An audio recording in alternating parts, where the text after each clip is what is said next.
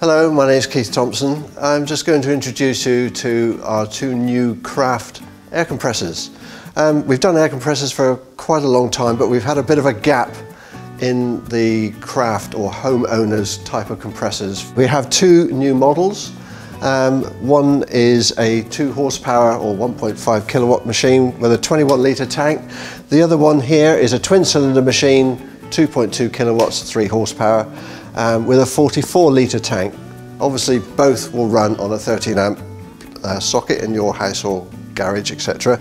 They're really aimed at you guys at home to use for various simple jobs, stapling, nailing, some light duty spraying, touch-up spraying. You could, by fitting uh, the appropriate moisture traps, you could use them for airbrushing. Simple jobs like blowing up the tyres on your car, your caravan, your boat trailer, anything like that. Just all-round household use at home, in your garage or workshop, etc. We quite like them because they're, they're exceptionally well made for this style of compressor.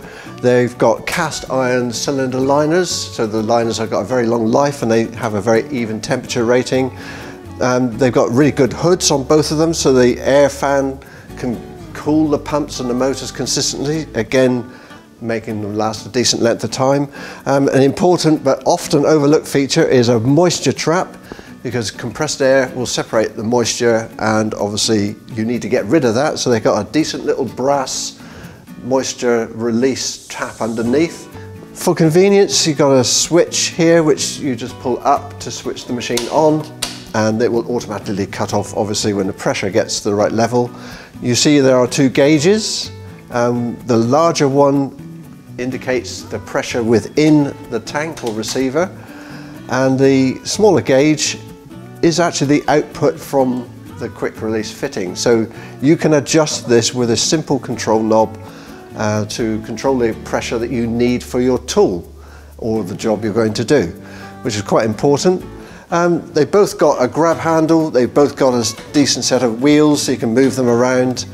Um, the tanks are powder coated for long life, so that's you know, good, good for durability and protection against knocks and everything else. They're good value for money and we think they're going to be a great success and will last a long time for our home user. They'll be in all of our stores, they're obviously available online if you need to know any more information, drop us an email or pop into one of our stores and ask any of the staff there. They'd be more than pleased to help you out. And the stores are a great place to go and visit anyway. Thank you very much.